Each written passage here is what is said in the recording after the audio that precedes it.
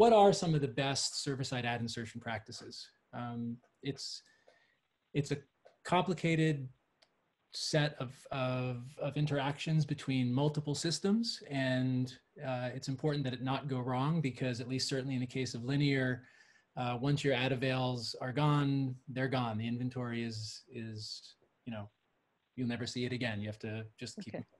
we've run into the issue because we have so many different audiences on different devices uh, and different uh, advertisers that want to advertise on our on our networks that um, we can't just take an SSAI approach. We have been we actually support both client and server side depending on the situation.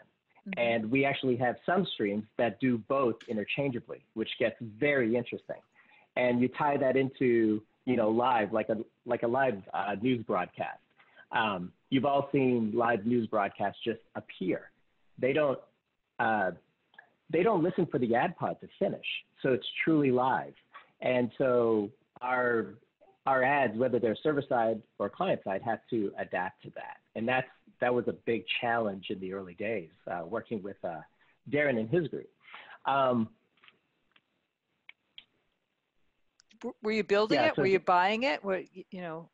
We we thought we could buy it because we thought it seemed really, uh, you know, everyone's showing ads, right? You watch the Super Bowl, you see ads, mm-hmm. but it turns out that's not truly live. In uh, they understand their their pod size. The other thing that uh, surprised me was finding out that for certain advertisers and certain programmatic ads, uh, because of the analytics we get back, they pay a higher CPM for client side. Mm-hmm. So we, you know, we're all proud rolling out this new platform that's all server side added ads, and we have to turn half of it off because of the revenue. Okay. Very unexpected. And we're still running some of those today because we get a higher CPM. Okay. All right. So well, it really depends. The money talks. Uh, Magnus, how about you? What, what were your comments on this area too, Geir? I, I, would usually say that that uh, for server-side insertion preparation is key. You need to prepare the content coming in with markers and everything like that. You need to have slates and fillers prepared in case of, of backup. You, you need to have uh, properly encoded ads coming in so you don't have a glitch in, in, in, quality for the ads itself.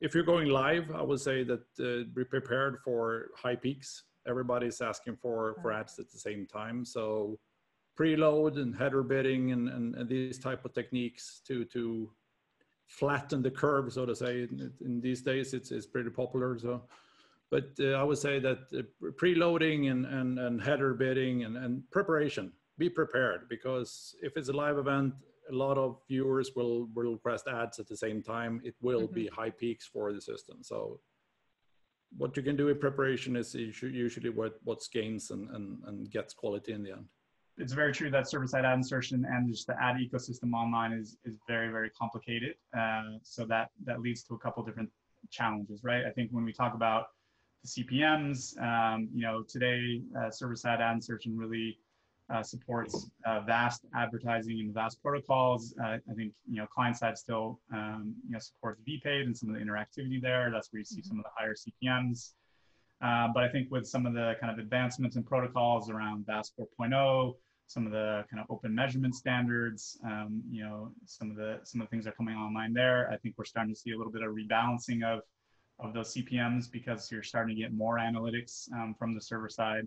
So that's that's certainly something to to think about, and and you ultimately also have to, you know, uh, understand the balance of of inventory in in your programmatic ad system or in your pre-sold ad system. If you only have VPaid ads and not VAST ads, um, you know that that presents a challenge. So you have to also kind of look to your to your ad partner there as well. Um, the second part of complexity you want to think about is, you know, in the television ecosystem, it's very controlled in terms of how ad breaks are scheduled, the exact mm-hmm. durations of ads uh, inside of an ad pod.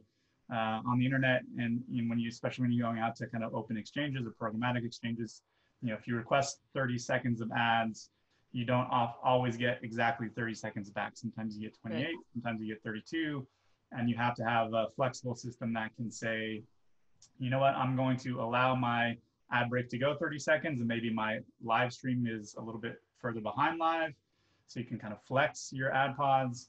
You may make a decision to say, you know what, I'm going to chop the last ad, like right when we get to the 30 second break, I'm going to cut out of the ad no matter what and go back to live.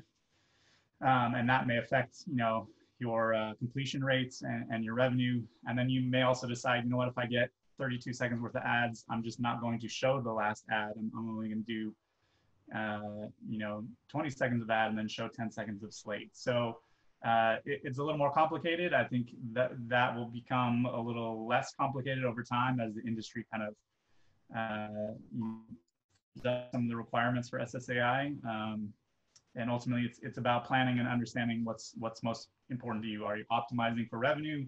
Are you optimizing for latency? Are you optimizing for production quality?